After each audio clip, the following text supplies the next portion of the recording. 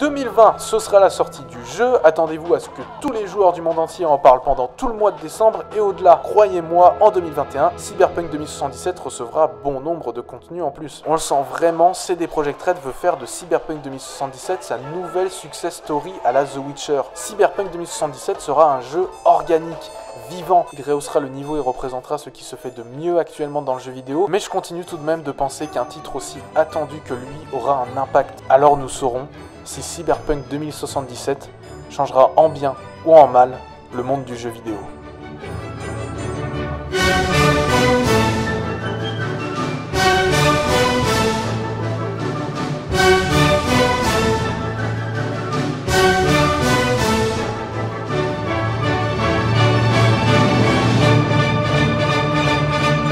Ah, sur ce coup-là, on peut dire que j'ai eu du pif. Hein. Ah non, clairement, euh, bien joué. Ça y est, 2020 est enfin terminé. Et s'il est enfin temps pour nous de tourner la page et d'espérer une année 2021 un peu plus radieuse, même si pour l'instant ça s'annonce pas foufou, je vous propose de revenir le temps d'une vidéo sur l'année qui vient de s'écouler. Allez, une dernière fois. Ensuite, promis, on ne parle plus de 2020, je vous promets. Parce que si chez nos confrères de la littérature ou du cinéma, c'était pas la joie à cause du confinement, qu'est-ce que l'on a de mieux à faire quand on est enfermé chez soi? Se mettre au sport. Cuisiner. Mais vous vous êtes perdu, c'est pas une chaîne culinaire ici, cassez-vous et allez mater Cyril Lignac sur M6 bordel. Top chef, l'émission gourmande croquante. Ce que l'on a de mieux à faire, c'est jouer aux jeux vidéo, bien sûr. Même l'OMS le dit, bordel, si l'Organisation Mondiale de la Santé le dit, c'est qu'ils ont raison, non? Ah mais attendez, c'est pas les mêmes qui en 2018 nous disaient qu'attention, il ne faut pas jouer aux jeux vidéo, vous aurez des maladies mentales, et aujourd'hui ils conseillent aux gens de s'exercer une activité qui peut les rendre malades. Mais on vit dans un monde de fous Bref, autant dire que c'était la bonne année pour nous demander de rester chez nous, car entre la sortie de pépites indépendantes, d'arlésiennes attendues depuis des années, de jeux multijoueurs vous faisant disputer avec le peu d'amis qui vous restaient, et de simulations de vie chiante d'adultes devant rembourser le crédit de sa maison, tu n'auras pas mon argent, Tom Nook Qu'est-ce que vous trouvez amusant là-dedans, hein? Pourquoi est-ce qu'un jeu où il faut spéculer sur des navets pour payer les taxes que vous impose un raton laveur vous fait autant triper? Vous êtes marié à un contrôleur des impôts pour que ça vous excite autant? Pardon, je me suis encore emporté. Donc, malgré les déboires qu'on a eu en 2020, Le confinement. on ne peut pas dire que l'on n'a pas été gâté. Ça a été une année riche, pleine de jeux extrêmement qualitatifs, de belles surprises, de mauvaises surprises. Why are we still here? Just to suffer every night. Et moi, de mon côté, j'ai pu jouer à énormément de jeux sortis cette année. Et comme je suis un youtubeur qui parle de jeux vidéo, je me suis dit que j'allais tenter à mon tour l'exercice du top et vous parler de ces jeux qui m'ont marqué en cette année 2020. Mais comme je ne fais rien comme tout le monde et que j'ai un ego beaucoup trop surdimensionné pour un youtubeur à même pas 300 abonnés, je me suis dit que pour l'occasion, j'allais inaugurer ma propre cérémonie. Les JSAM Awards. Quelle différence avec un simple top?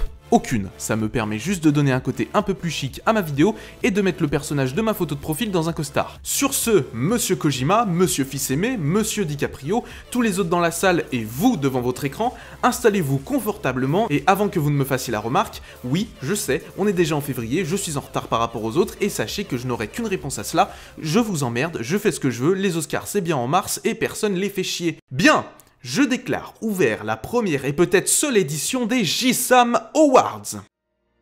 Attendez, mais qu'est-ce que DiCaprio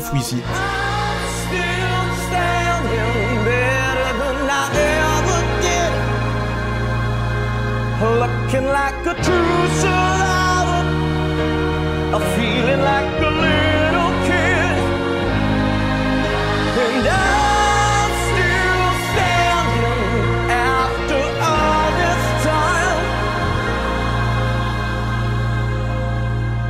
picking up the pieces of my life. Without you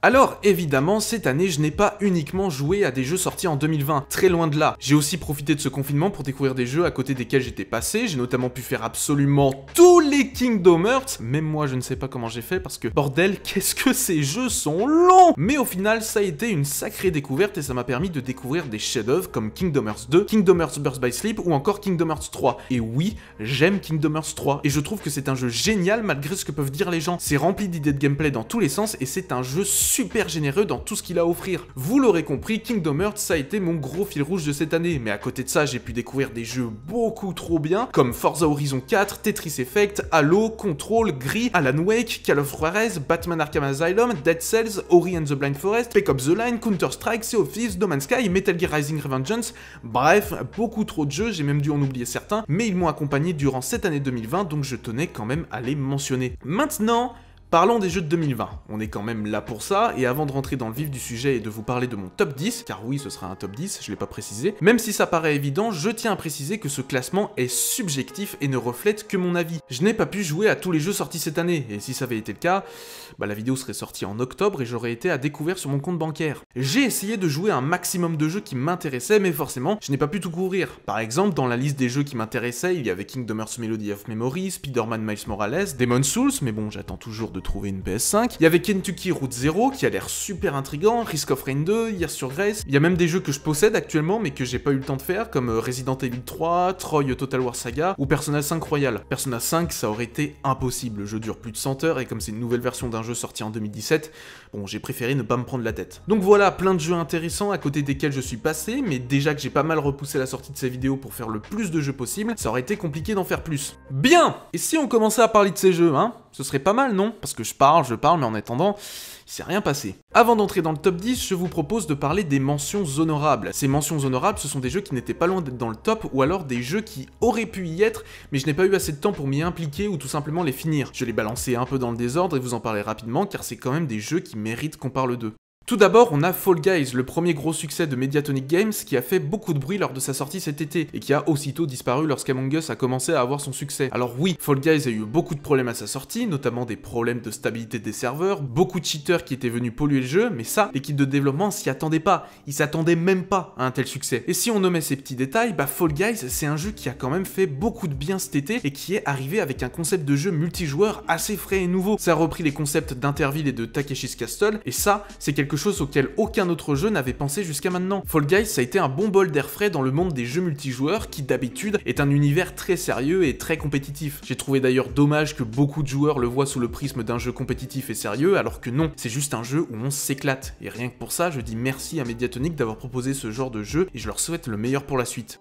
J'aimerais ensuite vous parler de Neon Abyss. C'est un petit roguelite développé par VWoo Games et édité par Team 17. Et autant dire que ça a été une bonne surprise sur laquelle j'ai passé certes pas beaucoup d'heures, mais ces pas beaucoup d'heures étaient très plaisantes. C'est un roguelite qui est extrêmement jouissif, qui propose une panoplie d'armes et de personnalisation très riche et qui en plus de cela possède un feeling qui le rend très agréable à prendre en main. C'est super dynamique, c'est rempli d'effets visuels, à ce niveau-là ça marche très bien. Maintenant, le gros reproche que je ferai au jeu et qui fait qu'il ne restera pas dans les mémoires, c'est que dans sa formule du roguelite, Neon Abyss reste extrêmement classique et ne réinvente quasiment rien. On sent clairement les inspirations de Binding of Isaac, ça il n'y a pas de souci, mais à côté de ça, que propose le jeu d'inédit? Bah pas grand chose finalement. Néanmoins, il ne coûte pas très cher, vous allez y passer un moment sympathique, si vous avez l'occasion, laissez-vous tenter. Animal Crossing New Horizons. Parce que malgré ce que j'ai pu dire en début de vidéo, j'ai bien aimé. Voilà, ne nous mentons pas. C'est drôle parce que, avec cette année très bizarre qu'on a vécue, c'est la première fois qu'on a pu voir des jeux avoir un succès, surtout grâce à la période à laquelle ils sont sortis. À savoir ici, bah, la pandémie mondiale. Fall Guys faisait partie de ça, Among Us aussi, le jeu existait quand même depuis 2018, et je pense que ce n'est pas un hasard s'il n'a commencé à marcher que cette année. Et pour moi, Animal Crossing New Horizons est le meilleur exemple du jeu qui a tiré profit de la situation sanitaire. Ce qu'avaient comme point commun ces trois jeux, c'était de proposer des univers très bon enfant, feel good, non violent et qui mettait en valeur la communication entre amis. C'était les jeux idéaux pour penser à autre chose dans ces périodes compliquées de 2020 et forcément, ils ont bien marché. Bref, j'ai pas grand chose de plus à dire sur Animal Crossing New Horizons, tant tout a déjà été dit, redit et re-redit, mais c'était un jeu sorti à la période parfaite et heureusement, car il fait énormément de bien. Passons maintenant à Crusaders Kings 3. Typiquement, c'est le genre de jeu qui aurait pu avoir une place dans le top 10, mais comme je n'ai pas eu suffisamment de temps pour m'y consacrer et pour explorer le titre dans ses moindres recoins, je ne serais pas en capacité de le classer. Mais très honnêtement, si vous êtes un fan de jeux de stratégie et de gestion, vous pouvez foncer y jouer les yeux fermés à ce Crusader Kings. Pour ceux qui ne connaîtraient pas, le concept du jeu, c'est de démarrer avec un personnage qui aura un statut de noble, tel que duc, vicomte, prince ou même roi, et le but sera de faire durer la dynastie de votre personnage le plus longtemps possible et de la faire devenir la dynastie la plus puissante du monde. Du coup, ce qui est génial dans Crusader Kings 3, c'est que vous pourrez avoir des parties qui, dans le jeu, auront duré plusieurs siècles. Vous pourrez refaire totalement l'histoire. Par exemple, il est totalement possible de faire en sorte que l'Égypte soit une colonie de la Pologne. Ça n'a aucun sens, mais c'est faisable dans Crusader Kings. Et en plus de cela, le jeu est extrêmement dense. Vous pourrez lancer des guerres, créer des complots, vous marier, avoir des enfants, assassiner des gens, appeler vos enfants du nom que vous voudrez, bref, c'est une vraie simulation du Moyen-Âge, tout y est possible, et si vous êtes client de ce genre de jeu, je vous conseille très fortement de vous y intéresser. Ensuite, laissez-moi vous parler de Flight Simulator. Comme pour Crusader Kings 3, c'est un jeu qui aurait pu être dans le top, mais par manque de temps, d'investissement et aussi du fait que ça ne soit pas mon genre de jeu à la base, j'ai préféré le laisser dans les mentions honorables. Mais le jeu est une telle révolution, et je ne pèse pas mes mots quand je dis révolution, qu'il fallait que je vous en parle. Flight Simulator, c'est le tout premier jeu vidéo qui exploite pour de vrai la technologie du cloud gaming, donc en usant d'internet et de l'intelligence artificielle. C'est une technologie dont on parlait déjà en 2013 et que Crackdown 3 tentait de nous vendre, mais ça restait quand même très léger jusque-là. Mais Flight Simulator s'en est servi pour littéralement réinventer son concept de simulation d'aviation. Grâce à ça, on a littéralement le droit au tout premier jeu où l'on peut explorer le monde entier. Même ma petite ville inconnue de tous est modélisée, ça n'a pas de sens, je vous dis. Et en plus de ça, le jeu possède un rendu quasi photoréaliste et c'est super bien optimisé sur PC. Même moi qui n'a pas un PC de malade, le jeu tourne convenablement. C'est une prouesse qu'a réalisé Azobo Studio. Ils avaient déjà fait Plague Tale Innocence que je considère comme étant un chef-d'œuvre et maintenant ils réalisent ce jeu qui nous questionne sérieusement sur une nouvelle manière de réaliser les jeux vidéo. Bref, même si vous n'êtes pas fan de simulation, juste pour l'expérience, jouer à Flight Simulator c'est fantastique, et en plus c'est français, cocorico Et enfin, dernière mention honorable, c'est Spiritfarer. Sachez que ce jeu aurait vraiment pu être dans le top, mais malheureusement, il s'est fait tuer par sa durée de vie que j'ai trouvé beaucoup trop longue et pas forcément justifiée. Le jeu doit demander une vingtaine d'heures avant d'être fini, alors qu'honnêtement, en même pas 10 heures, ça aurait dû être bouclé. Et qu'est-ce que c'est dommage, qu'est-ce que c'est dommage, il loupe le coche de vraiment pas loin. Parce que le jeu proposait un concept vraiment original. On était sur un mélange entre jeu narratif et jeu de gestion, la DA était fantastique, en plus la principale thématique du jeu c'était la mort, et il l'abordait d'une manière super intelligente, super maligne. Bref, c'est quand même un jeu que je vous conseille malgré qu'il s'étale un peu trop en longueur et qu'il ait un peu le cul entre deux chaises, ne sachant pas s'il veut lorgner du côté du jeu de gestion ou du jeu narratif. J'attends quand même le prochain jeu de Thunder Lotus parce qu'ils ont quand même réalisé un travail formidable. Wouah alors honnêtement, je pensais pas passer autant de temps sur les mentions honorables, j'ai très peur pour le top 10, hein. je crois que cette vidéo va être plus longue que prévu. Donc ça y est, on peut enfin commencer à rentrer dans le vif du sujet et vous parler de mes 10 jeux préférés de cette année 2020. Vous êtes prêts? Allez, c'est parti. Commençons par le numéro 10, Ghost of Tsushima. I am samurai. You are more than that. You are the ghost.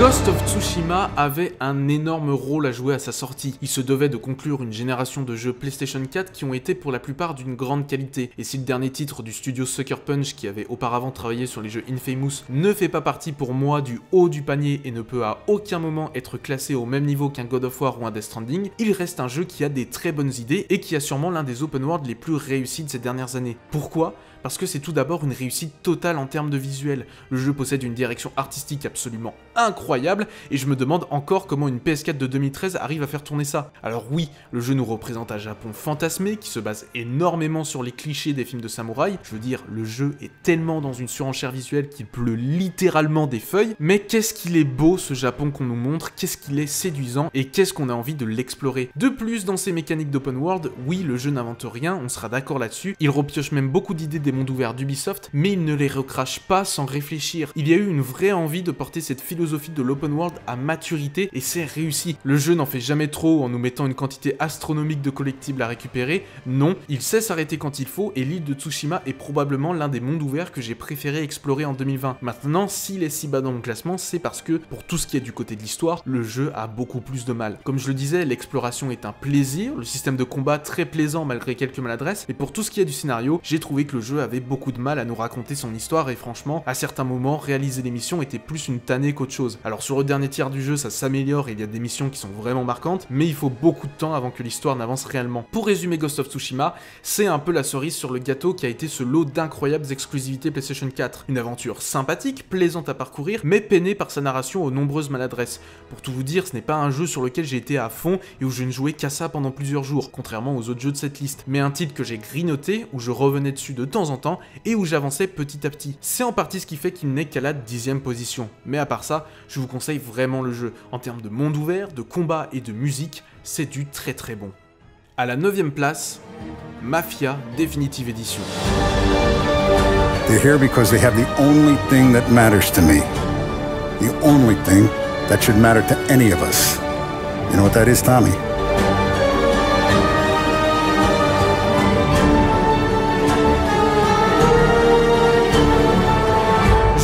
De 2002 inspiré des films de gangsters de Martin Scorsese tels que Casino ou Les Affranchis, Mafia a eu le droit à un remake complet cette année et autant dire que j'ai été très séduit par la formule. Le jeu vous propose de vivre le parcours de Tommy Angelo, de simple chauffeur de taxi, à bourreau du crime au sein de la famille de mafieux Salieri. Alors qu'on se le dise tout de suite, la formule du jeu reste relativement classique. On évolue dans un monde ouvert, qui n'en est pas vraiment un car ne proposant aucune quête secondaire ou activité, ce n'est qu'un lieu créé pour rejoindre les différentes missions, et on avance dans l'histoire à travers des missions extrêmement Et si cette structure on l'a déjà vu des milliers de fois dans d'autres jeux vidéo, Mafia a le mérite de nous raconter une histoire et de nous faire vivre des situations suffisamment palpitantes pour qu'on trouve de l'intérêt à parcourir le titre. Comme je disais il y a quelques instants, on sent clairement les influences de Scorsese et c'est toujours extrêmement bien retranscrit dans le jeu sans devenir lourdingue. De plus, l'ambiance est totalement réussie et en Garde 13, avec le peu de moyens qu'ils avaient, parce que je pense clairement que ce Mafia n'est pas à considérer comme un triple A, mais plutôt comme un double A, on fait un jeu d'une très bonne qualité. Bon, après, par contre, niveau gameplay, c'est clairement pas là où il faudra attendre le jeu. Le feeling des armes lors des gunfights est raté, pour la conduite, même si on s'y habitue, on a plus l'impression de conduire des savonnettes qu'autre chose, et parfois, au niveau de la réalisation des scènes scriptées, on dirait plus du Uncharted low qu'autre chose. Après, voilà, comme je disais, le jeu n'a pas le budget d'un AAA, et ce n'est pas là-dessus qu'il fallait l'attendre. Il reste néanmoins intéressant de voir le virage que prend Hangar 13 après un Mafia 3 relativement raté, qui se concentrait beaucoup plus sur son open world que sur son histoire. Ici, ils font l'exact opposé en créant un monde ouvert qui ne sert que de prétexte à leur histoire, qui elle est la véritable star du jeu. Ça me redonne déjà beaucoup plus confiance pour l'avenir du studio qui, je le rappelle, doit développer le prochain Bioshock. Passons maintenant à la 8ème place pour parler d'un jeu qui aura fait grand bruit en cette année 2020, The Last of Us Part 2. I have to finish it.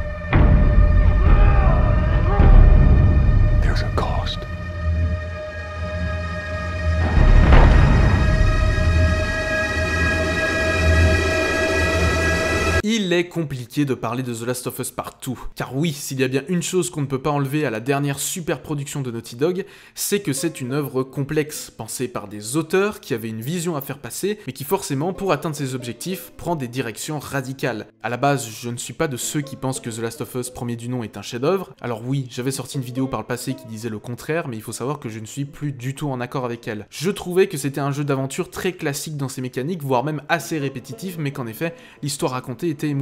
J'avais trouvé le jeu très très bon, mais pas non plus exceptionnel. Pour The Last of Us Part 2, c'est plus compliqué, car là où je trouve que The Last of Us 1 était un titre qui restait dans les rouages du jeu d'action-aventure tel qu'on le connaissait, sa suite, quant à elle, est plus radicale. Et avant de citer les bonnes et mauvaises qualités du jeu, je tiens à souligner le fait que The Last of Us Part 2, qu'on l'aime ou qu'on le déteste, est un titre important dans l'histoire du jeu vidéo. Tout d'abord car c'est très certainement le premier AAA où une femme lesbienne est représentée, et en plus de cela, super bien représentée, et aussi parce que c'est un jeu qui n'a hésité à aucun moment à prendre des chemins scénaristiquement qui n'allaient pas dans le sens de ce que voulaient les fans. Et bordel, qu'est-ce que c'est bien C'est génial de voir qu'aujourd'hui, un studio aussi énorme que Naughty Dog, appartenant à l'un des éditeurs les plus puissants de l'industrie du jeu vidéo, puisse faire ce genre de choses. Et n'en déplaise aux harceleurs qui sont allés insulter les créateurs et acteurs du jeu sur les réseaux sociaux, voir un tel studio avoir une telle liberté, c'est beau. Maintenant, Naughty Dog, il ne manque plus qu'à apprendre à faire en sorte que vos employés ne fassent pas de burn-out ou de dépression et ce sera nickel. Concernant mon avis concret sur le jeu, c'est vraiment compliqué. Parce que d'un côté, il a des énormes qualités, mais de l'autre, des énormes défauts. Il n'y a pas de demi-mesure, ce n'est que des extrêmes. Et ce jeu, c'est des montagnes russes constantes. D'un côté, comme je disais, il a une histoire exceptionnelle, incroyablement bien narrée, la mise en scène est toujours aussi dingue, et c'est certainement le plus beau jeu vidéo qui existe actuellement. Comment est-ce que Naughty Dog réussit à faire tourner ça sur une PS4 de 2013 C'est de la sorcellerie à ce niveau-là. Bref, de ce point de vue-là, le studio est au sommet de son art, il n'y a pas de souci. Mais de l'autre côté, certains éléments viennent vraiment entacher le tableau. Le gameplay, c'est toujours le même que celui de 2013, il n'y a quasiment aucune évolution, c'est encore plus répétitif que le premier épisode, et c'est renforcé par le fait que le jeu est d'une longueur Sincèrement, il y a des moments, c'était une souffrance d'avancer tellement c'était chiant. Et en plus, certes, le jeu aborde la thématique de la vengeance, et s'il le fait d'une manière assez originale, ne nous mentons pas, c'est encore un récit qui nous a été raconté des centaines de fois dans la littérature, le cinéma ou le jeu vidéo. The Last of Us Part 2 ne réinvente rien à ce niveau-là. Et là, vous devez sûrement vous dire, mais connard, pourquoi est-ce qu'il est dans le top si tu le défonces autant? Bah parce que c'est un jeu qui est surprenant, qui est déstabilisant sur énormément de points, et j'aime bien ça, les jeux qui me surprennent. Comme je disais, le jeu a des idées géniales et des qualités qui sont stratosphériques, les 5 dernières heures c'est de la quasi-perfection, mais d'un côté on a ces gros problèmes et du coup, bah je suis tiraillé. Honnêtement, je n'aurai pas le temps à travers cette vidéo pour revenir sur toutes les subtilités du jeu, il faut rentrer en profondeur, mais dans ce format-là, je n'ai pas le temps. Tout ce que je peux vous dire, c'est que oui, j'ai énormément aimé le jeu, mais je l'ai aussi énormément détesté. Finalement, même si ce n'était pas au même niveau, ça m'a un peu rappelé Nier Automata et cette relation que je pouvais avoir avec le jeu. Maintenant, ce que j'attends de Naughty Dog pour le futur, c'est de se remettre en question dans leur formule qu'ils ont exploitée jusqu'au bout depuis Uncharted. Dorénavant, il me semblera important pour le studio de réussir à se renouveler s'ils ne veulent pas tomber dans la redite. Sachez juste une chose, The Last of Us Part 2, c'est un jeu que je vous ne souhaite pas de faire, mais que je vous souhaite d'avoir fait. Bien, Maintenant, je vous propose de passer à quelque chose de beaucoup plus léger avec notre jeu de la 7ème position, There is no game, wrong dimension.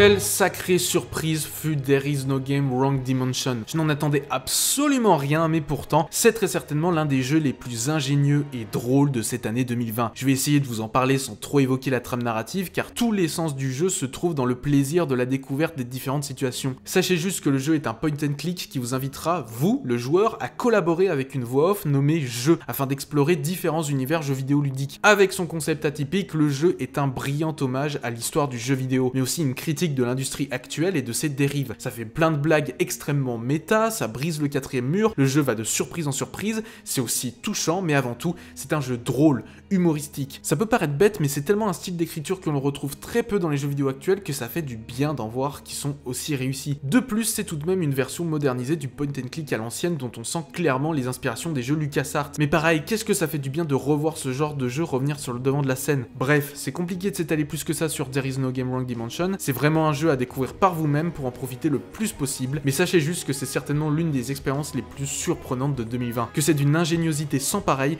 et que ça enchaîne les moments brillants. C'est un véritable bol d'air frais et rien que pour ça, vous ne devriez pas passer à côté. Et en plus de ça, c'est français, cocorico, et je dirais même plus, lyonnais, alors vive le son. Le souci, le son dit, tu n'arrives plus à parler, Jisam. Ah, c'est terrible. Continuons maintenant avec le numéro 6, Ori and the Will of the Wisps.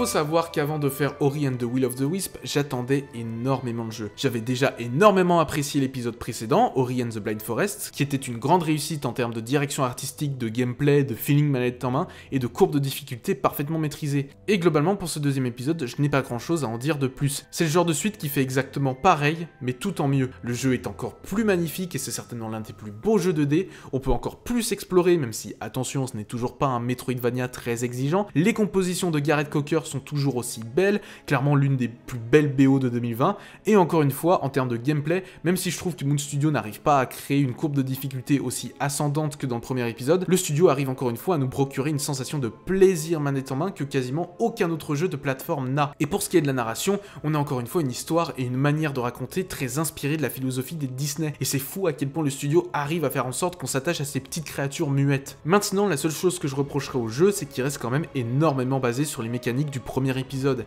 et qu'il n'apporte pas de réelles nouveautés. On sent qu'il est temps pour Moon Studio de passer à autre chose et de laisser la licence tranquille. Ce qui a quand même l'air d'être le cas vu qu'il travaille en ce moment sur un tout nouveau jeu en action RPG. Mais à part ça, vous pouvez foncer. Ori the Will of the Wisp, c'est un excellent jeu de 2020. Nous arrivons à la moitié du classement et le jeu qui arrive à la cinquième place est Doom Eternal.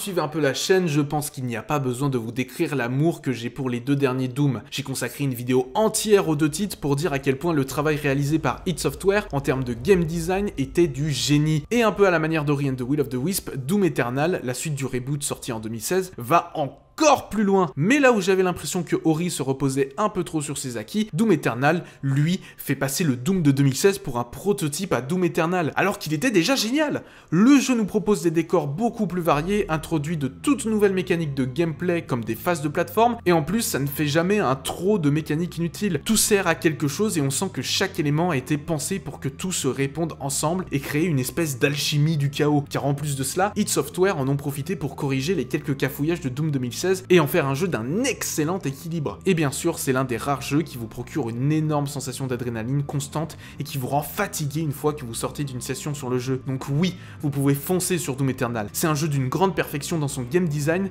et qui prouve encore une fois qu'id Software a un vrai savoir et une formule qui marche. Bien Nous arrivons maintenant à la quatrième position de ce classement. Et celui-là, je l'attendais tout particulièrement. Croyez-moi, on va avoir des choses à en dire, beaucoup de choses à en dire. Donc, à la quatrième place, nous retrouvons Cyberpunk 2077.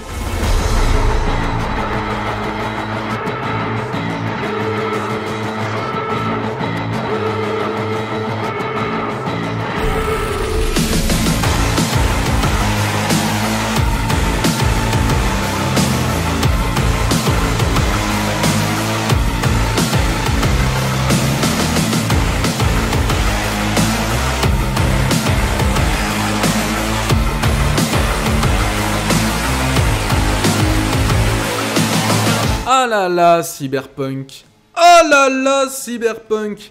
T'auras bien foutu la merde, hein. Mais alors, bien comme il faut. Avant de parler du jeu, j'aimerais revenir sur deux petites choses. Tout d'abord sur l'intro de cette vidéo, où je me suis un peu taclé par rapport à mon documentaire sur Cyberpunk. En vrai, c'est juste pour la blague, et je ne le pense pas du tout. J'ai revu la vidéo après avoir fini le jeu, et comme elle parle essentiellement du marketing autour du titre et du crunch qu'il y avait chez CD Projekt Red, je la trouve toujours pertinente aujourd'hui. Alors oui, on sent que j'étais un peu plus enthousiaste que prévu sur certains points, mais globalement, tout va bien. Et finalement, je suis content d'avoir mis ce petit disclaimer en début de vidéo où je dis que la vidéo a été faite avant la sortie du jeu.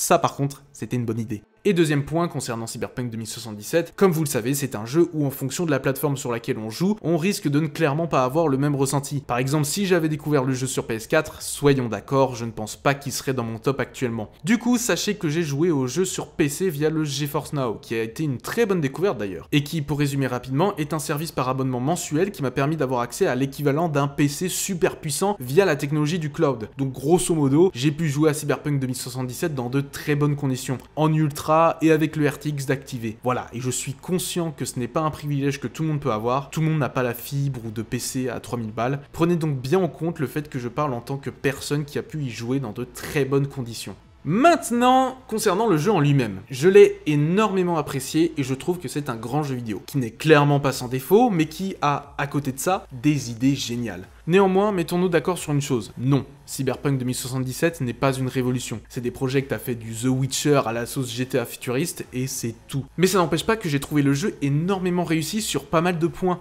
car si on met de côté les bugs, qui personnellement ne m'ont pas tant encombré que ça, je n'ai rien eu qui m'a foutu en l'air mon expérience de jeu, le titre est plein de choses juste géniales. Tout d'abord, c'est sûrement le jeu vidéo qui exploite le mieux la vue à la première personne et qui, grâce à cela, profite d'une mise en scène comme on n'en a jamais vu dans un FPS. L'histoire, quant à elle, est rythmée de bout en bout, et si certains ont pu être déçus par la faible durée de vie de 25 heures pour la boucler, bah ça lui permet de rester prenante tout le long et de ne pas perdre son joueur. En plus de ça, la plupart des grosses quêtes secondaires ont profité d'un soin tout particulier qui les rend aussi bonnes à vivre que celles de la quête principale. Les personnages sont géniaux, surtout Johnny Silverhand, le fameux rôle de Keanu Reeves, que j'ai trouvé super charismatique. On a en plus le droit à plein de fins qui sont quand même pas mal différentes. La BO même si elle n'est pas aussi marquante que celle de The Witcher 3, accompagne parfaitement l'ambiance du jeu, et les compositions des différents artistes sont incroyablement variées et nombreuses. Enfin, la ville de Night City est magnifique et est sûrement l'une des plus belles villes que j'ai pu explorer dans un jeu vidéo. Donc ça, c'est pour tout ce qui va. Ça fait quand même déjà pas mal, hein. Mais bon, malheureusement, le jeu est aussi rempli de défauts. Pour commencer, oui, je n'ai pas été tant que ça gêné par les bugs, mais bon, il y en a quand même, ne nous mentons pas. Ça peut quand même sortir du jeu. Par exemple, à la fin du jeu, pour mon cas, la texture des vêtements d'un personnage n'était pas modélisée, et bon, voilà, ça sort un peu de l'immersion. Quant à l'IA, elle est complètement pétée, j'ai jamais vu une intelligence artificielle aussi ratée dans un jeu vidéo avant. Pour l'écriture, même si c'est des project trades, c'est pas des tâcherons et qu'ils savent globalement écrire des bonnes histoires, c'est quand même pas toujours écrit avec subtilité et très gros point noir sur les thématiques liées au cyberpunk qui ne sont quasiment pas abordées. La conduite est à revoir, le corps à corps est raté, j'ai aussi l'impression que certaines quêtes s'arrêtent un peu trop tôt, soit parce que le studio n'a pas eu le temps de peaufiner tout ça, soit parce que ce sera des DLC. Et de la part de CD Projekt Red, c'est quand même surprenant, même si on sait que maintenant, bon, euh, voilà, ils sont capables de tout. Et enfin, il y a beaucoup de mécaniques RPG qui ne sont pas si importantes que ça et qui peuvent être passées à la trappe. Alors certes, je me dis que ce sera plus simple pour les joueurs étant moins familiarisés avec ces mécaniques pour aborder le jeu, mais c'est vrai que rien ne nous pousse à utiliser les améliorations cybernétiques ou autres. Bref, un peu à la manière de The Last of Us Part 2, Cyberpunk 2077 est un jeu rempli de défauts mais qui a des idées tellement géniales que ça remonte le tout. Je tiens à insister, ça reste pour moi un excellent jeu qui n'est certes clairement pas à la hauteur de The Witcher 3 Wild Hunt, mais qui vous emmènera dans une histoire certes pas toujours écrite avec subtilité et qui peut faire série B à certains moments, mais qui est prenante, immersive et superbement mise en scène. Pour conclure, je dirais que je n'ai pas été déçu par Cyberpunk 2077, mais je n'ai pas non plus été surpris. Projets qui m'a servi ce que j'attendais d'eux, mais n'a pas fait plus. Ils sont restés sur leur formule, qui certes marche, mais qui n'ont pas tant fait évoluer que ça. En tout cas, si vous êtes joueur sur console ou que vous n'êtes pas pressé, je vous conseille quand même d'attendre quelques mois afin que le jeu soit plus stable. Bon la parenthèse cyberpunk est enfin terminée. On peut passer aux trois derniers jeux. Avant de vous parler des jeux qui seront sur le podium, je tiens d'abord à vous dire que les titres à venir, ce sont ceux qui sont pour moi à la limite d'être des chefs-d'œuvre, voire même des chefs-d'œuvre complets. Là où avant je pouvais citer quelques défauts chez les autres titres, attendez-vous à ce que pour les jeux à venir, je sois dithyrambique. Honnêtement, même s'il a fallu choisir un jeu de l'année, sachez que chacun de ces trois jeux aurait très bien pu l'être. Bien, j'espère que vous êtes prêts. Moi j'espère juste que je ne vais pas trop m'étaler en vous en parlant. C'est parti. À la troisième position, nous retrouvons donc Hades.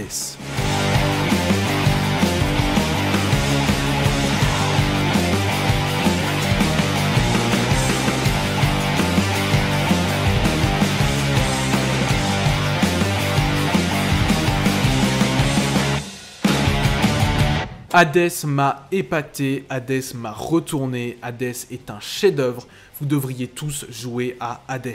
Jeu en accès anticipé depuis 2018 et qui est enfin sorti dans sa version finale cette année, le dernier né de Supergiant Games est un jeu indispensable à avoir dans sa ludothèque tant il est immense. Et pourtant, il faut savoir que c'était pas du tout gagné de mon côté à la base. Des jeux du genre roguelite, j'en ai essayé énormément et très peu ont réussi à véritablement me garder en haleine. Seul Dead Cells m'avait vraiment accroché et encore, j'avais abandonné au bout d'un moment. Mais Hades, c'est véritablement le roguelite qui réussit là où tous les autres jeux du genre ont échoué. C'est un jeu qui est à la fois exigeant mais qui possède une courbe de difficulté suffisamment bien pensée pour qu'on y reste, qu'on persiste et qu'on n'abandonne pas à la fin du jeu. C'est un titre qui arrive à ne jamais être répétitif tant les possibilités de gameplay sont nombreuses. Vous avez accès à un grand nombre d'armes qui vous changent totalement votre façon de jouer et en plus de ça, vous pouvez accéder à plein de pouvoirs différents et tenter plein de types de builds. Certes, il y a toujours une part d'aléatoire, mais celle-ci est suffisamment bien gérée pour que vous ne soyez jamais frustré et puissiez jouer comme vous l'avez décidé. Et à côté de cela, tout le travail artistique réalisé sur le jeu est excellent exceptionnel.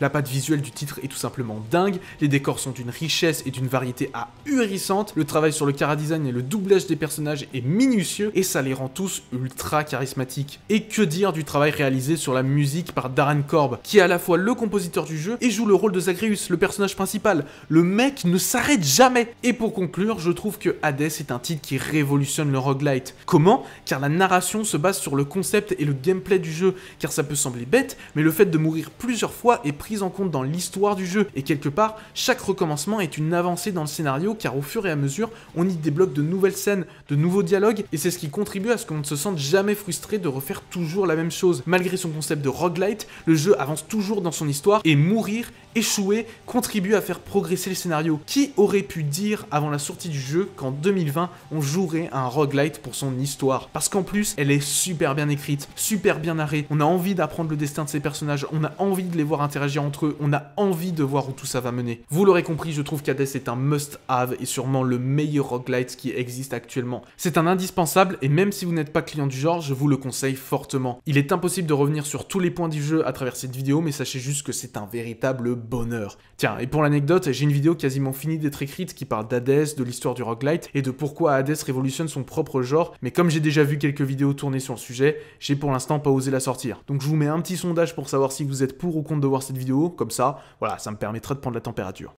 Maintenant, il est temps de gagner une place et de parler du jeu à la deuxième position. Ça a été très dur de le départager avec celui à la première place et pendant un très long moment, je l'ai considéré comme étant mon jeu de l'année avant qu'il ne se fasse rattraper par le jeu suivant. Parlons donc d'un remake qui aura déchaîné les passions cette année 2020, Final Fantasy VII Remake.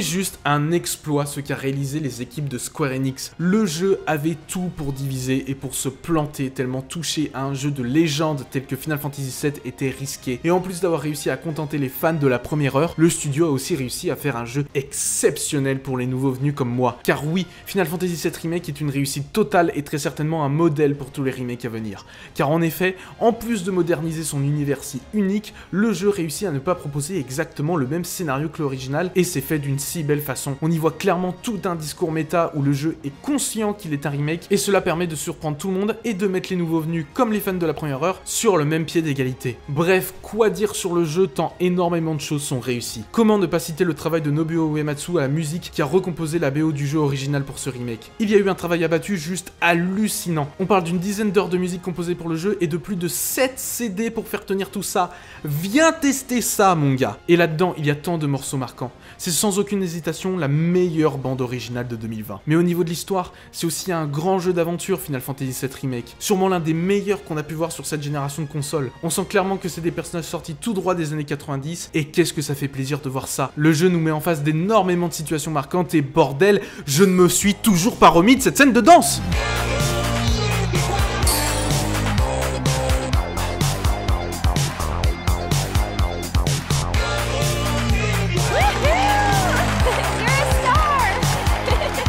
En plus, le studio a créé un système de combat qui est juste génial. Ils ont réussi à la fois à conserver tout le système tactique du jeu original grâce à cette pause active intégrée dans le remake, mais en même temps, ils l'ont remodernisé pour en faire quelque chose de mille fois plus dynamique. Les phases de combat sont d'une réussite dans ce jeu, c'est incroyablement agréable à prendre en main. Alors certes, il y a des choses qui ne vont pas dans le jeu, notamment les phases avec des couloirs pas forcément très passionnants à traverser, des quêtes secondaires vraiment pas intéressantes et où on a encore le droit au cliché du niveau dans les égouts, mais ce n'est clairement rien comparé à toutes les énormes qualités du jeu. C'est un titre qui a un charme fou, qui a une ambiance qui lui est propre et sublimée grâce à des musiques exceptionnelles. Final Fantasy VII Remake, c'est un grand voyage dans un Midgard qui n'a jamais été aussi beau, une aventure riche et décomplexée qui va vous faire vivre plein de moments géniaux. Vous l'aurez compris, je ne manque pas d'éloges sur le jeu et je vous invite à aller voir ma vidéo sur le jeu vidéo japonais où j'en parle plus en profondeur. A partir de maintenant, nous touchons à la fin de la vidéo et je m'apprête à vous révéler mon jeu de l'année 2020. Celui qui remportera la première et peut-être la seule édition des JSAM Awards. Le jeu qui m'a donc le plus marqué cette année, celui que j'ai le plus apprécié, celui que je considère aujourd'hui comme un chef-d'œuvre est Yakuza Like a Dragon.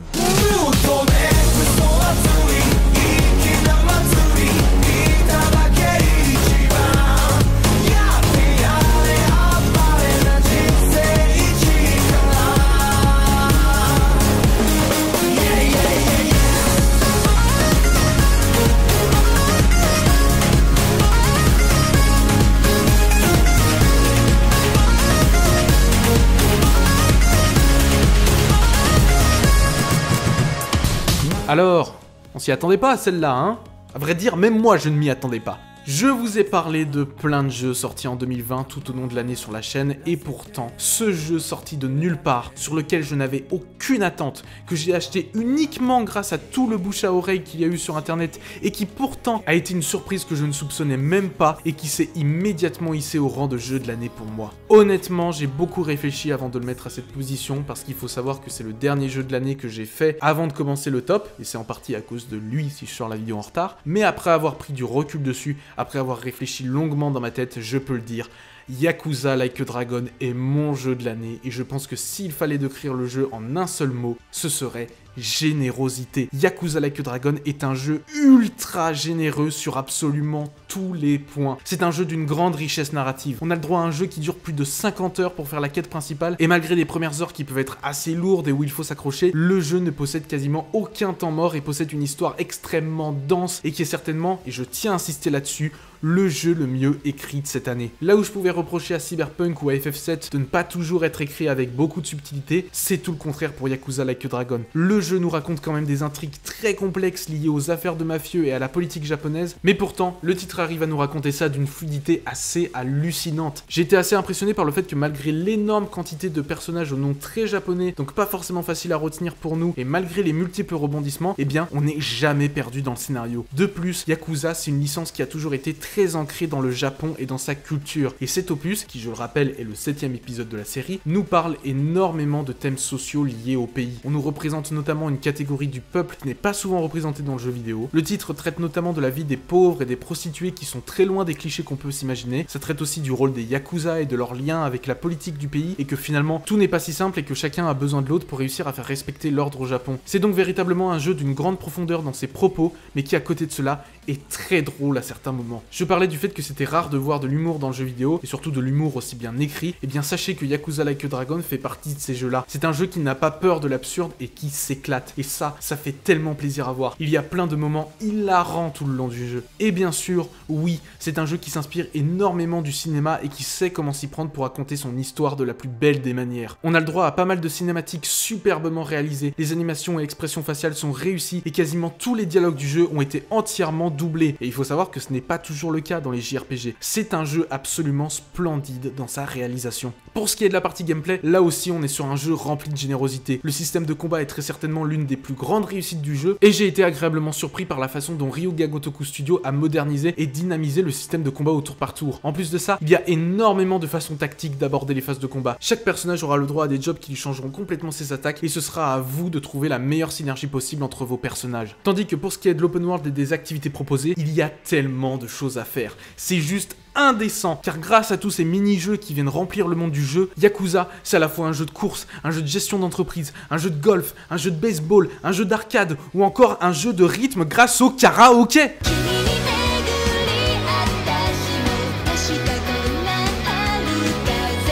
Faut se rendre compte que tous ces mini-jeux, c'est à chaque fois de nouvelles règles de gameplay à instaurer, et en proposer autant et de manière aussi bien faite au sein d'un même jeu, ça demande un travail titanesque. Quant aux musiques, je suis aussi impressionné par la variété de styles que regroupe le jeu. On va de la musique électro au rock, tout en passant par le jazz et des chansons plus pop. Et tout ça, et eh bah ça reste cohérent. Vous l'aurez compris, j'ai trouvé Yakuza Like a Dragon incroyable sur tout ce qu'il fait, et c'est avant tout un jeu qui ne se moque pas de vous et propose du contenu de qualité en abondance. C'est un grand jeu vidéo, étant à la fois réussi dans son scénario, proposant des moments épiques, émouvants, drôles, complexes et profonds, et qui dans son gameplay est d'une générosité sans pareil, vous proposant l'un des meilleurs systèmes de combat de ces dernières années et plein de possibilités de jeu, notamment renforcées par ses activités variées et multiples. Et bordel, le karaoké, quoi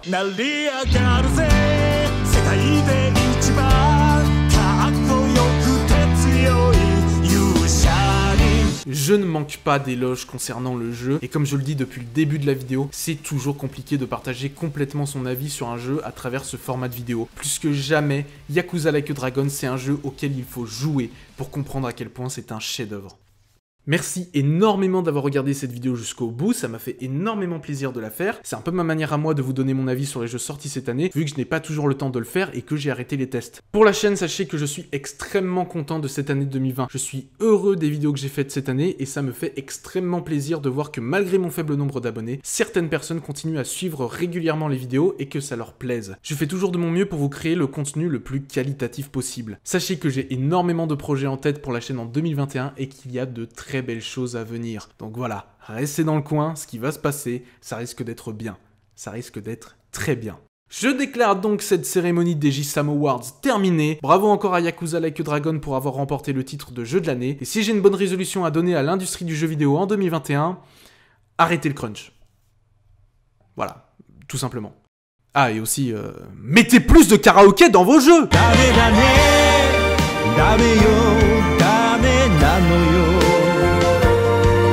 が好きで好きすぎてどれだけ強いよさけでも歪まない思い出がバカみたい。